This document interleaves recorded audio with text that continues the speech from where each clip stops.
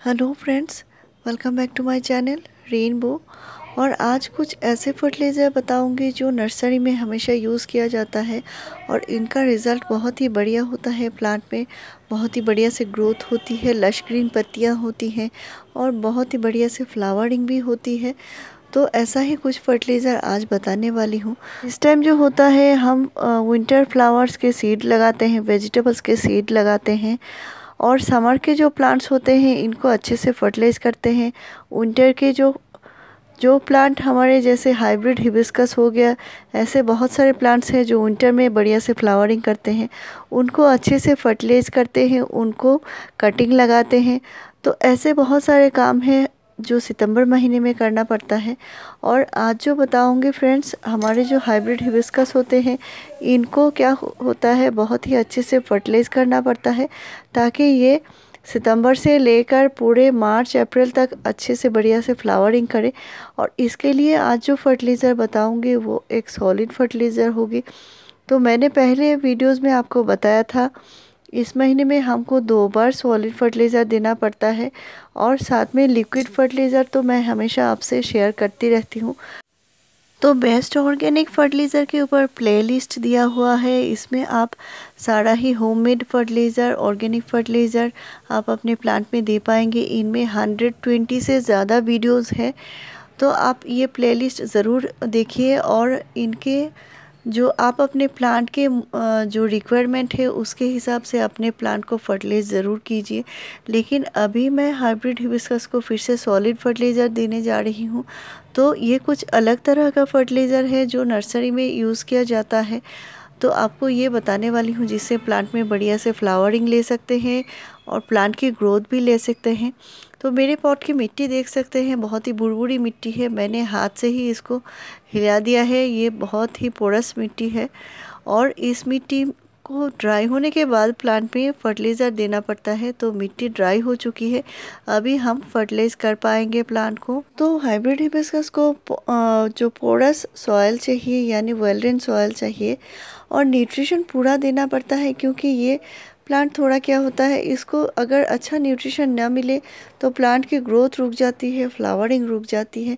तो इसके लिए प्लांट को कंटिन्यू फर्टिलाइज़र दिया जाता है और हाइब्रिड हिबिस्कस जो होता है, साल भर ही फ्लावरिंग करता है, लेकिन विंटर में ज़्यादा फ्लावरिंग करता है।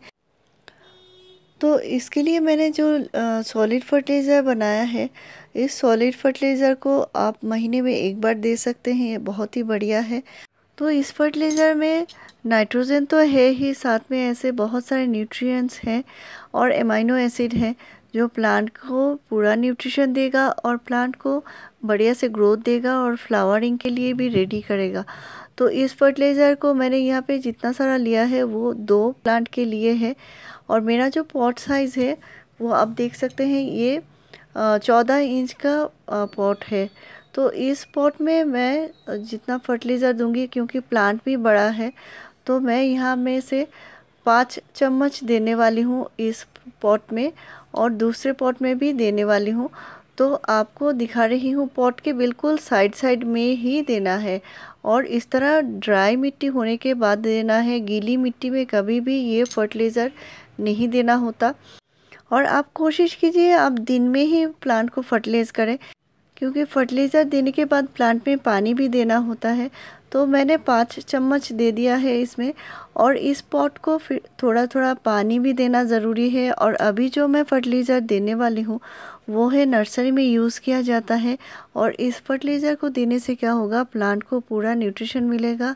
और प्लांट को अभी जो ज़रूरत है फ्लावरिंग के लिए वो है पोटाशियम फर्टिलाइज़र। तो पोटाशियम फर्टिलाइज़र के लिए आप ऑर्गेनिकली पोटाशियम फर्टिलाइज़र यूज़ कर सकते हैं, जो मैं हमेशा से बताती रही हूँ। और लास्ट जो वीडियो मैंने दिया है, वो है सारे ही पोटाशियम फर्टिलाइज़र के ऊपर दिया है, फ्लावरिंग फर्टिलाइज़र के ऊपर। और ये सारे ही ऑर्गेनिक फर्टिलाइज़र है। इनमें से मैंने छः फर्टिलाइज़र का नाम लिया है, जो सभी के घर में मौजूद भी है। और मैं जो दे रही हूँ, ये है जो केमिकल फर्टिलाइज़र यानी ये है पोटाश तो पोटाश फर्टिलाइज़र आप इनके साथ मिलाकर भी दे सकते हैं या अलग से पॉट में भी दे सकते हैं। और मैंने यहाँ पे एक टीस्पून से थोड़ा कम लिया है और हल्के से मिट्टी के ऊपर दे देना है और हल्की गुड़ाई करके मिट्टी के साथ मिला देनी है। तो इसको पॉट के ऊपर ही देना है, इसे इसे पॉट के ऊपर देने से कोई प्रॉब्लम नहीं है। पानी देने के साथ ही साथ ये घुल जाएगी मिट्टी के साथ और इसको देने के बाद हमारे प्लांट में पानी देना ज़रूरी है। नहीं तो पोटाश क्या करता है? पोटाश थोड़ा स्ट्रॉन्ग फर्टिलाइज़र होता है। तो आपका प्लांट अगर छोटा है तो आप कम करके दीजिए, ज़्यादा फर्टिलाइज़र मत दीजिए। एक साथ ज़्यादा फर्टिलाइज़र से भी नुकसान होती है।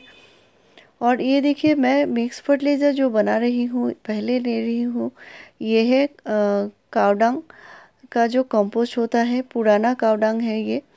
और आपके पास अगर बार्मी कंपोस्ट है तो वो भी आप ले सकते हैं। साथ में एक चम्मच नीम खली है। और दूसरा जो फर्टिलाइज़र लूँगी, वो बहुत ही ज़रूरी फर्टिलाइज़र है। सभी के घर में मिल भी जाता है। तो ये है चाय की पत्ती। तो चाय की पत्ती में बहुत अच्छी मात्रा में न्यूट्रिशन होता है और चाय पत्ती आप घर में यूज़ करते हैं तो इनको अच्छे से धोकर ड्राई कर लीजिए और इनको स्टोर करके रखिए। बहुत ही बढ़िया है प्लांट के लिए और इनसे प्लांट को बहुत सारा न्यूट्रिशन मिलता है। साथ में और एक फर्टिलाइज़र है, ये है जो मास्टर्ड केक होता है, यानी सरसों की खली। तो सरसों की खली मैं यहाँ पे टू टीस्पून से थोड़ा ज़्यादा दे रही हूँ। और ये सरसों की खली की पाउडर बना लिया है मैंने। तो काउडंग कंपोस्ट प्लांट में ग्रोथ में हेल्प करेगी। और सरसों खली में बहुत सारे अमाइनो एसिड्स होते हैं और नाइट्रोजन फॉस्फोरस और पोटाशियम तीनों ही होते हैं। साथ में मैंने दिया है नीम खली। नीम खली से प्लांट को नाइट्रोजन मिलेगी। साथ में बहुत कीड़ों मकोड़े से भी बचाव होगी। और चाय की पत्ती में बहुत सारा नाइट्रोजन, फॉस्फोरस और पोटाशियम होता है, जो प्लांट की मिट्टी को एसिडिक बनाता है, अच्छी फ्लावरिंग के लिए ज़रूरी है। तो मैंने यहाँ पे हाफ़ टी स्पून से थोड़ा ज़्यादा पोटाश फर्टिलाइज़र दिया है। तो अच्छी फ्लावरिंग लेने के लिए केमिकल पोटाश का यूज़ नर्सरी में हमेशा किया जाता है। तो हम ऑर्गेनिकली गार्डनिंग करते हैं, पोटाश फर्टिलाइज़र मिट्टी में बहुत ज़्यादा नहीं देते।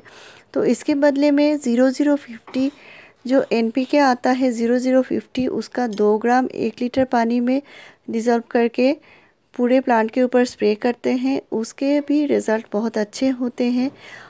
और ऑर्गेनिक फर्टिलाइज़र के ऊपर मेरे चैनल में आपको बहुत सारे वीडियोस मिल जाएँगे। उनसे भी आप बहुत ही बढ़िया फ्लावरिंग ले सकते हैं।